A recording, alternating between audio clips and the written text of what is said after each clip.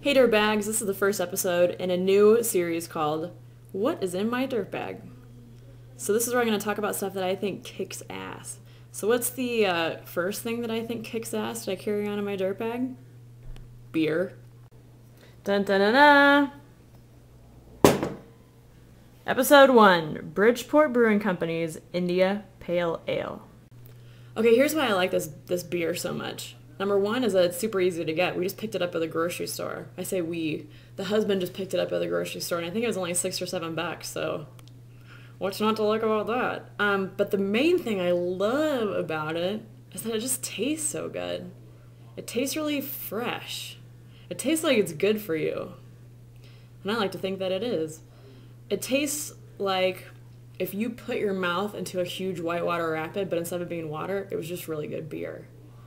That's how refreshing it is.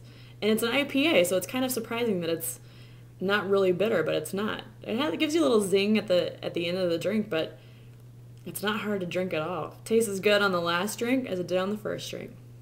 And then again on the first drink of your second beer. So yeah, check out their website. It's pretty sweet. BridgeportBrewingCompany.com. And their IPA. I haven't tried their other beers because I don't think I need to. I think the IPA will do her. Drink it. It's what's in my Durtbag. See you next time.